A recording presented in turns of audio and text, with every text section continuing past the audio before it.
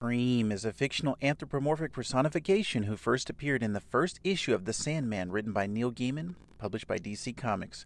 One of the seven endless, inconceivably powerful beings older and greater than gods, Dream is both lord and personification of all dreams and stories, all that is not in reality, which in turn Dream may define by his existence. He's taken many names, including Morpheus and Oneiros. His appearance can change depending on the person who's seeing him, and he was named the sixth greatest comic book character by Empire Magazine, also 15th on IGN's 100 Top Comic Book Heroes list. Tom Sturridge is set to portray Dream in the upcoming Sandman series on Netflix.